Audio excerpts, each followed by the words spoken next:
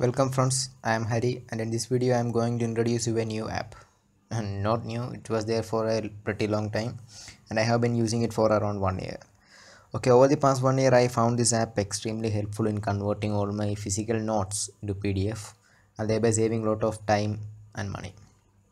Okay, I was talking about the app called CamScanner.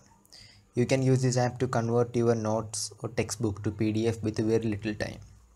In this video I am going to introduce you how to use this app and moreover how to configure it to work best for you. And I am sharing a particular configuration which I have been using for the past one year. Okay so let us start. Now it's time to install the app. You can install it from Play Store. Visit Play Store and search for Cam Scanner. Cam Scanner. There it is. Cam Scanner Phone PDF Creator so this is the app cam scanner and it has two variants. One is a free version which we are going to install right now and the second one is a paid version and obviously the paid version has more features than this free version. So this is the free version of the app which we are going to install and it's a 20 MB app. So now install it. Install accept. If you look the rating it's over 4.5 which definitely says it's a good app and it takes little bit time to install. Once your app is installed. Open it.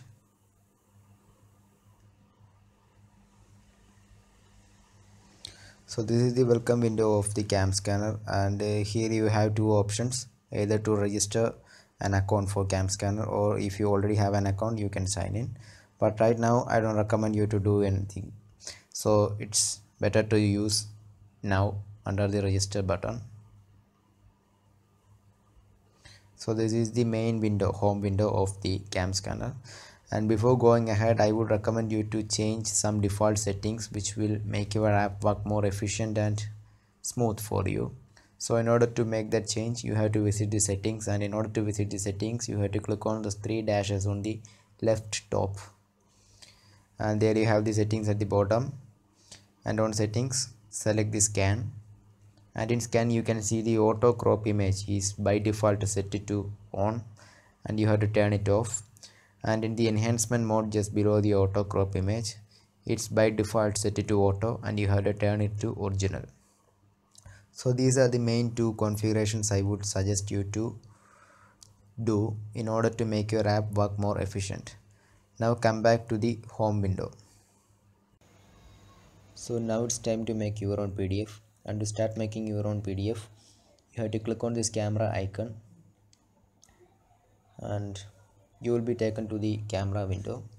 And there you can have two modes. One is called this one is called the single mode which is used when you have to convert a single page onto pdf whereas the other one is called batch mode which can be used when you have to convert large number of documents or in the case you have to convert an entire book onto pdf so right now i am using batch mode to convert five pages of this book into a pdf to show you.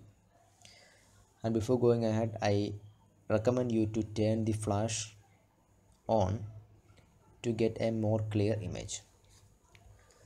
So once you are ready before capturing the image make sure the page fit right into the camera window and then click on the camera button to capture the first image so that's my first page. Now my second page. This is my second page.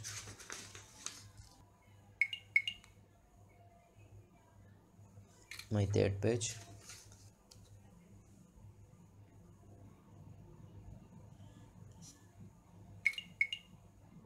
It's a little bit shaky but uh, fifth page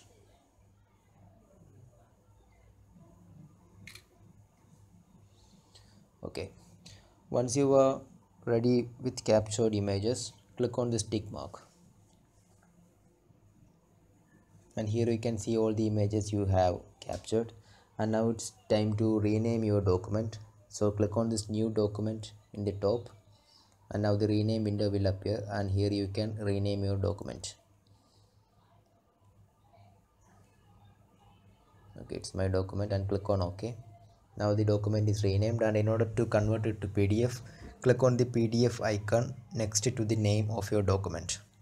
Just a single click and they will ask for a premium user. But i am not interested so tick on never ask and cancel. Okay.